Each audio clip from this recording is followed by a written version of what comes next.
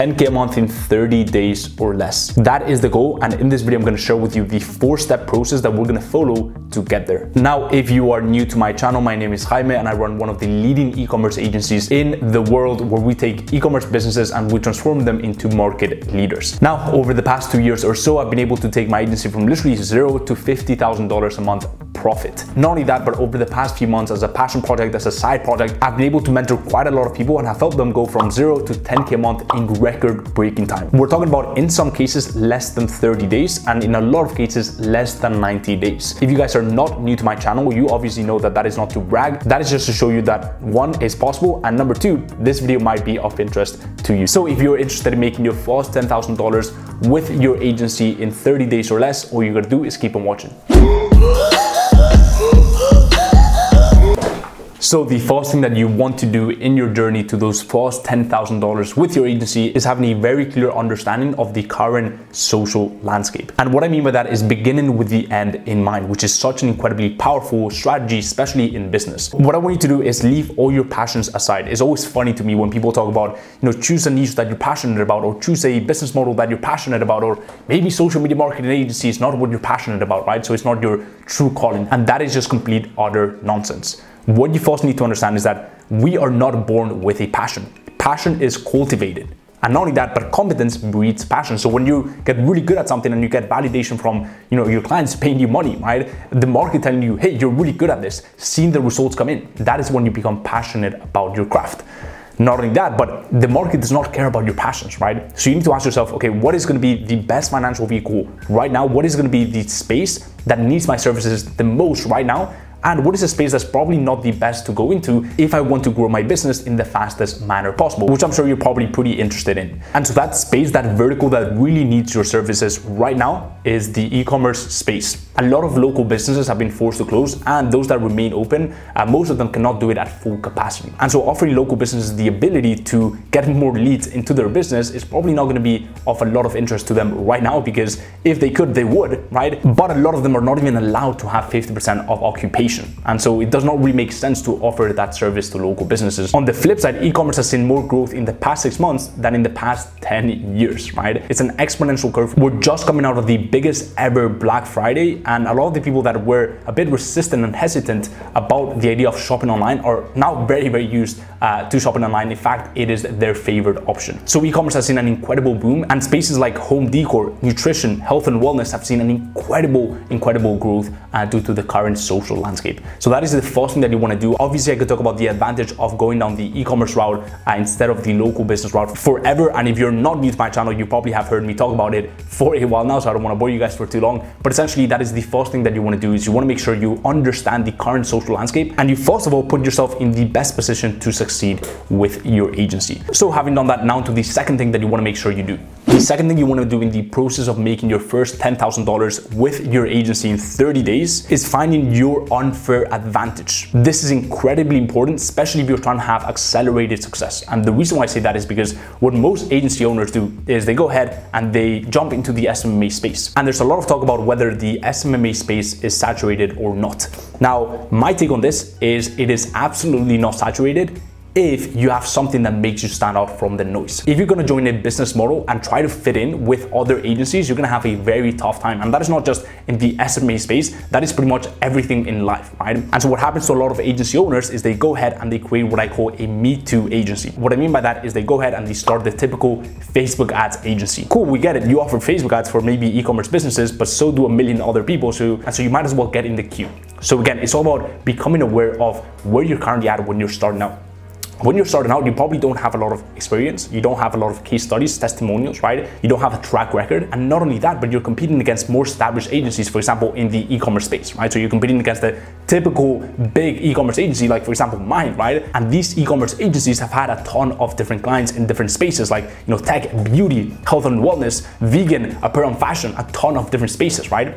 Or you're also going up against the what I call do-it-all agency, right? They are pretty much doing every single niche under the sun, right? They're doing uh, the local businesses, so uh, restaurants, dentists, clinics, right? And they're also doing e-commerce businesses, so apparel fashion, jewelry, nutrition, etc., etc. And so if you try to compete on the same level as these other agencies, you're gonna find it really, really hard to, uh, to sign clients, right? Part of it is obviously due to your outreach process. Most agency owners, in fact, 99.99% of agency owners do not have a automated sales funnel like the one I have and the one I give my students, right? But you're trying to beat Goliath on the same level playing field, right? You need to have the David type of mindset. You want to find your unfair advantage. What is the one thing that you can actually hurt them with? What is the one thing that will help you gain a competitive advantage over these other agencies? That one thing is narrowing down into a specific sub niche within the e-commerce space. And not only that, but branding your agency as the go-to agency in that very specific sub niche, right? I'm talking about your agency mission, your language, right? Your understanding of the market, the competitors, who the big players are, the way they're making money, the way they're putting together their sales funnels, right?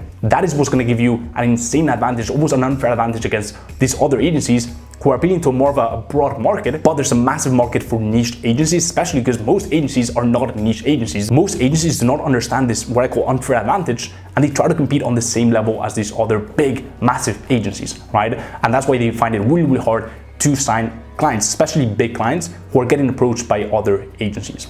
So that is the second thing that you want to do in that process because trust me, it's gonna make it so much easier to sign clients and it's really gonna accelerate your path to the first $10,000 with your agency. The next thing that you wanna make sure you do is you go ahead and smash the like button and you make it turn into a very sexy blue because uh, uh, in all honesty, it helps a lot with the algorithm, the whole channel, and YouTube just loves to see it. So if you can do that right now, I'd really appreciate it. Uh, I'll wait. And uh, with that being said, let's get back into the video. The next thing you want to make sure you do in the process to your first $10,000 with your social media marketing agency in 30 days is you want to make sure you hire your A player for your team. I've talked quite a bit about the importance of having this A player in your team, and it's incredibly vital that you start putting together your hiring process. For example, my hiring process and the one I give to my students is a three to four week process. Okay, so I've definitely put a lot of time and energy into the questions that I ask these uh, these people, right? Into building my authority, into getting these people invested into my agency, and most importantly, into finding the right A player. And why do I say that? Because the right contractor can mean the difference between keeping a client for a long time and having a widely successful agency in the long term that has true longevity, and having an agency that may sign one, two, three, four clients, uh, but just fizzles out in a few months. And maybe you're left with a few grand in the bank, but it doesn't really lead into financial abundance and financial freedom in the long term. So it's incredibly important. And the other thing you need to understand is the difference between a B player and an A player. It's not like a 10% difference like in school. It's literally 10x, right? I've had at this point five contractors. Right now I've got two in my team. And the first ones that, that I hired, they were good, right? But they weren't A players. And the difference between an A player and a B player, there's obviously so many differences, but the main ones are you don't have to chase them, right? They're proactive. You don't have to tell them exactly how to do things, right? They know what to do, right? I give them the vision, the direction, what I want us to achieve for a client, but they know the how. Another big difference is that an A player is constantly developing themselves, right? Funnily enough, A players are way better than B players when it comes to their exp- uh, experience and expertise, right? And their knowledge around their service, but B players think they're the shit, right? And so they have this big ego that prevents them from learning more. But A players are incredibly good. They let the results speak for themselves and they're constantly learning more, keeping up to date uh, in regards to new changes to the algorithm, etc., etc. So it's incredibly vital to hire your A player. But why now? Why so early on in the journey? Here's the thing that happens to a lot of agency owners. They go ahead and uh, maybe they sign uh, a client, right? And they haven't actually done the, the homework into hiring an incredible A player. So now they get stressed out because they don't have an A player and they have to hire on a whim. They have to hire very quickly, right? They go into that hiring decision very quickly and they obviously make the wrong hiring decision. And sure, it's a bit of a relief in the short term because at least you have a contractor that can do the service, but you're gonna have to fire that contractor in two to three months and go into hiring another contractor, which is going to create more complexity. The client is probably going to feel that change, and all in all, it's just not a, a great look. The worst thing that can happen is you hire this person who you know they're not good for the job, but you get comfortable and you settle for a B player or a C player instead of an A player. And trust me when I say this, this is very common. In fact, it happened to me, right? I had this B player and he wasn't bad, right? But it took me a few months to go into the market, put together this incredible hiring process that took me almost two months to create to then hire an A player. It was by far one of the best decisions that I've made with my agency but it gives you a bit of an idea as to it can be very easy to get comfortable when you've hired the wrong person just because you don't want to go into the market and just because you start settling for mediocrity. So that is the third thing that you want to do in the process to making your first $10,000 with your agency in 30 days. And now to the final and most important task. Now this final point requires a bit of a change of scenery because the final point is understanding and getting crystal clear on your irresistible offer. An irresistible offer that is going to be incredibly agile to deal with all the objections you may face in the first 30 days. And the reason why I say that is because in the first few months of running your agency, that is going to be the time where you can get the most objections thrown at you. And the reason why that is is because whether you like it or not, you're not as confident going into a call. You can have the best script in the world, you can have the best training in the world, but there's something about having that experience that you can only get from being in the trenches for, you know, three, four, five, you know, two years, right? And having jumped on a lot of sales calls. So you need an irresistible offer that's gonna make it almost a no-brainer for them and that's gonna make it so incredibly effective and easy to deal with the possible objections that may be thrown at you. So now I'm gonna run past you a few ideas that you could implement as an irresistible offer for your agency. The first one is you can offer a six week test phase, right? So while most agencies are offering three, four, five, you know, six months, even 12 months at times uh, as a minimum retention, what you can do is you can offer six weeks as a test phase, right? You're still gonna be paid for those six weeks and you're gonna get crystal clear on what success will look like at the end of the six weeks. And at the end of the six weeks, if for whatever reason it wasn't a good fit or you just weren't able to hit those uh, benchmarks that, that, that you were shooting for, the worst that can happen is you just part ways. So not only will you have done work on their account, which they're gonna keep, and they have much better understanding of who their dream customer is, you've done work on their ad copies and their messaging on social media, you've maybe put together a few creatives for them, not only do they get to keep that, but for you, you almost get to kill the darlings. Because look, if you haven't gotten them results in the first six weeks, given that your process is very tight, which you definitely should, and in six weeks, you should be able to get them results. If you don't uh, manage to get them results in six weeks, it probably simply means that it was never gonna be a home run for you. This is incredibly good for dealing with objections where they don't really believe in either the process or the service. They may believe in you, they may have no problem in you know putting their money down and, and trusting you uh, and investing into you and your agency, but they're not quite sold on the service side of things. They're not quite sold on what the service could do for them. So this test phase is a very small investment on their side, and so it makes it almost a complete no-brainer for those type of clients. That is one example of an irresistible offer. A second example could be a money-back guarantee. So for e-commerce businesses, what you need to do is you want to get clear on the break-even ROAS for that client, right? And so you could say that at the end of three months, or at the end of six months, or at the end of six weeks, right? If you haven't hit the break even ROAS, you can give them a partial or full refund on their money. And so this is particularly helpful if they don't really believe in you and what you've done in the past, right? So maybe you don't have a lot of case studies, but you really have the confidence because you have an A player, you put together a lot of really, really good systems for your agency. You have confidence in your service and your process. And so you go into that call with that confidence of your service and then you give them this irresistible offer at the end, which almost makes it a bit of a no-brainer to the client because what is really the worst that could happen? It's almost pure upside, okay?